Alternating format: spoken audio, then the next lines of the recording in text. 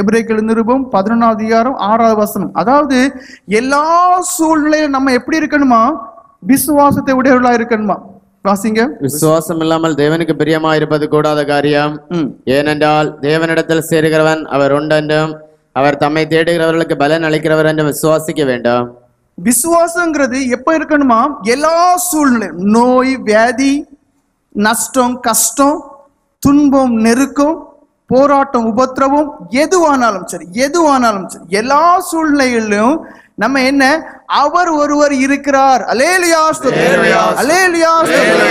யாரு? எல்லா சூழ்நிலைக்கும் மேற்பட்டவர் எல்லாவற்றையும் தம்மால் நிறைவேற்றக்கூடியவர் எல்லா சூழ்நிலைகளுக்கும் ஒரு பதில் வைத்திருக்கக்கூடியவர் விடுதலை கொடுக்கக்கூடியவர்.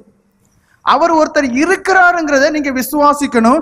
அவரிடத்திலிருந்து எனக்கு பலன் கிடைக்குங்கிறதான ஒரு விசுவாசம் வேணும். இப்போ என்ன பண்றேன் தெரியுமா? விசுவாச துரோகம் பண்ணிட்டு வந்து நிற்கிறோம் எப்படி? அது இந்த சம்பவம் ஆச்சா? நான் அடுத்தவங்ககிட்ட ஐடியா கேட்டேன். இந்த காரியம் பண்ணிட்டேன் பாருங்க. இது செய்துட்டேன் பாருங்க. ஒரு தடவை போட்டு பாருங்க. ஏன்?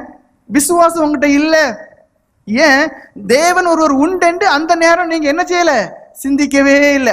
ஏன்? நீங்க அந்த தேவனை விசுவாசிச்சாலும் அவர்கிட்ட ஜோம் பண்ணா ஒரு வேளை கிடைக்கும் கிடைக்காம போ. பலன் கிடைக்குங்கிறது நம்பிக்கையே இல்லை. விசுவாச துரோகம் பண்றோம். ரெண்டு திமுத்தையு நான்கு அதிகாரம் ஏழாம் வசனம் வாசிங்க. பவுல் அப்போஸ்ல ஒரு காரியத்தை சொல்றாரு. வாசிங்க.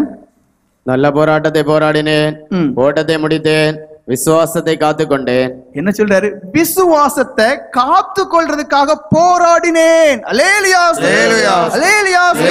ஒரு போராட்டமான ஒரு வாழ்க்கை நம்மிடத்துல இல்ல. உறங்கி உறங்கி வாழ் உறங்கி உறங்கி செத்த ஒரு வாழ்க்கை கடமைக்கு ஒரு வாழ்க்கை கடமைக்கு ஒரு ஆராதனை கடமைக்கு ஒரு காத்திருப்பு கடமைக்கு ஒரு ஜபஜீவியம் கடமைக்கான ஒரு வாழ்க்கை வாழும்போது அங்கே போராட்டம் இல்லை அங்கே வைராக்கியமான ஒரு வாழ்க்கை இல்லை அங்கே தேவனுக்கு தான் வாழணுங்கிறதான ஒரு பக்தி வைராக்கியம் இல்லை யானோ தானோ என்கிறதான ஒரு வாழ்க்கை. இங்க என்ன சொல்றாரு? விசுவாசத்தை காத்துக்கொண்டு அப்படின்னா அவருடைய நோக்கம் என்ன?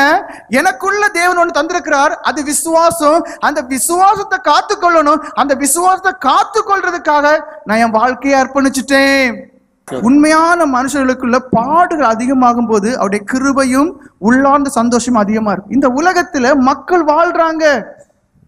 நீங்க என்ன தெரியுமா சொல்றீங்க? எனக்குள்ள விசுவாசம் இருக்கு. ஆனா என் புருஷன் அப்படி சொன்னதுனால நான் என்ன செய்தேன்? தேவனை ஆராதிக்க வரல. என் புருஷன் சொன்னதுனால நான் ஜெபத்துக்கு போகல. இல்ல குடும்பக்காரங்கள்லாம் அப்படி போன அங்க போனா இப்படி வந்துடும் இங்க போனா இப்படி ஆயிரும். அதனால நான் என்ன? உள்ள விசுவாசத்தை வச்சிருக்கிறேன். என்ன வேதம் சொல்லுது கிரியே இல்லாத விசுவாசம். என்ன விசுவாசமா அது செத்த விசுவாசம். இப்ப நம்முடைய வாழ்க்கையை நீங்க பாருங்க. உங்களை நீங்களே பாருங்க.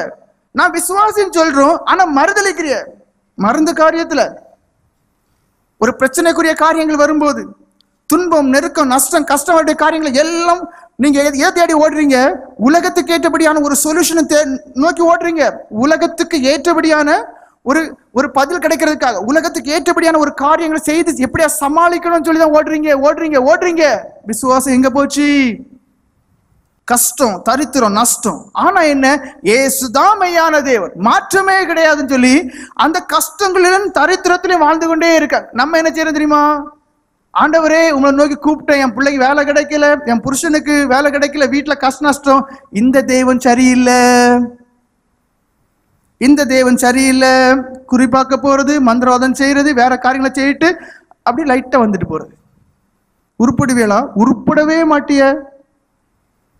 உங்களுக்கு ஐயோ விசுவாசம் சொல்லக்கூடிய எத்தனை பேர் தவறான பிரதிபலன்களை செய்கிறீங்க இந்த தவறான பலனை எதிர்பார்த்து சில காரியங்களை பண்ணுறீங்க நம்முடைய தேவன் இந்த உலகத்துக்குரிய தேவன் அல்ல. அவர் என்ன சொன்னார்? நான் இவ்வுலகத்திற்குரியவன் அல்ல. அப்படி இருந்துச்சுன்னா மேலே இருந்த தூதர்கள் வந்து காப்பாத்திருப்பாங்க. இந்த உலகத்துக்குரிய அல்ல. இந்த உலகம் இந்த பிரபஞ்சம் பொல்லாங்கன் கையில் கொடுக்கப்பட்டிருக்குன்னு சொல்லி யோவான் அப்போ சொல்லிட்டார்.